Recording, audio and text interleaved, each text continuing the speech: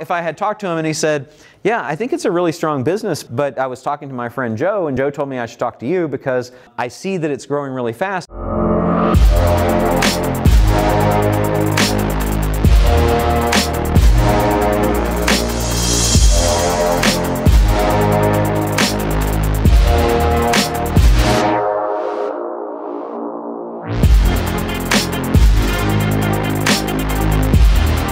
We really want to buy opportunity, not problems. So, as a recovering attorney, I can tell you that people do not sue generally people that they like. If you have that feeling at all, don't do a deal with somebody.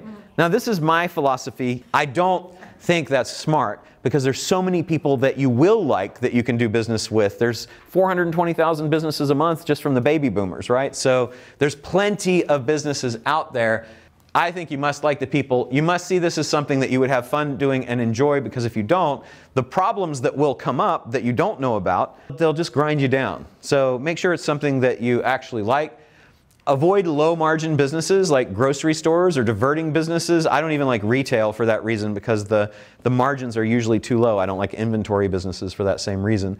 So um, if you make a mistake, if you're wrong in your numbers and the margin is really low, you can get to a loss from a profit pretty quick. Avoid tech and heavily regulated for the same reason. Um, now, I don't consider a subscription tech business, I'm not really worried about if it's looking good, but if I'm developing tech, I'm concerned about it. I will say that symbiotic tech companies, so like if you're a Meerkat, you know, and you're developing an app that's going to run off of Twitter or Facebook or something like that, or you have an app that's scraping people, a SaaS that's scraping uh, data from Google to do SEO reporting or something like that, I would run away super fast from that. I also, even though you can make a lot of money on Amazon, I don't like Amazon businesses because I had the experience of Amazon coming into the niche with Amazon Basics of the company that we had, and then it just evaporated. That that market just went away. Amazon's like, yeah, we do that now, and they do do that, right? And ultimately, I imagine that's their goal is to only do that, right?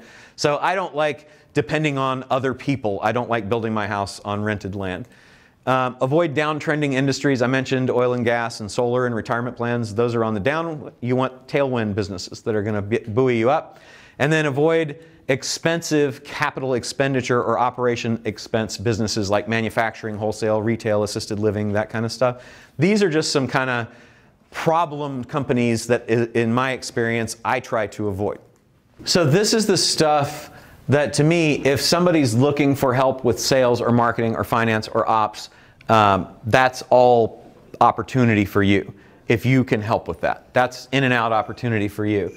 Um, helping them restructure the business to be either profitable or saleable. For me, I do that 18K half day and then I get on a whiteboard and completely restructure people's businesses and they're like, I've got six businesses I can sell and I totally see the path now, right? That's a big deal. So that's very valuable to them. Um, if they're burned out, they might need help bringing in a manager or professional management or a team so that they don't destroy the business because they're burned out. So that's an actual opportunity, and that's that's something. Or or their their business, like this is was was with Ryan and Perry and Rich, and they'll tell you this too. They had outgrown the business's size had outgrown their managerial competence. So it was time to bring in a professional CFO and a professional CEO and a professional HR person and some other people, right? It was time to do that because they were doing all that and they didn't know how. They didn't know how at scale. Growth stalls, that's really common, right? Now, marketing and sales uh, typically relate to growth stalls. So why has the company stopped growing? Why are sales flat for the last four years? And then just access to your network or your ability to do R&D. A lot of deals I do are because I have a really great network and so people want access to it and they want to have me involved so they can do that. So these are all great opportunities for you to look at what are your skills and how, how might you come into a company to add that value. Well, we do want to find motivated sellers, right? So I like if, if I come to you and I say, hey Terry, I'm interested in um, you know I'm interested in talking to you about an investment, and then we go through it, and I use my high pitch, you know, do you ever think about selling?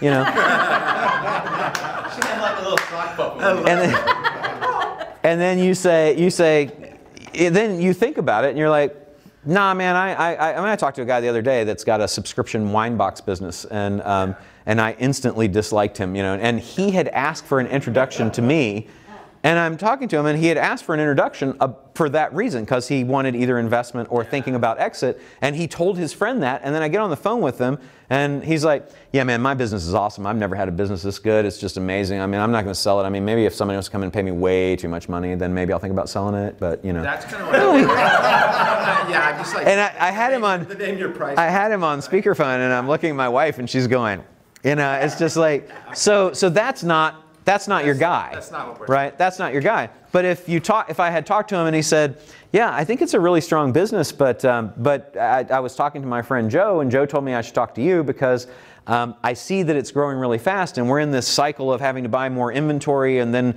you know, then we need we sell it, and then we have to buy even more inventory, and so I'm never really catching up on my cash flow, right?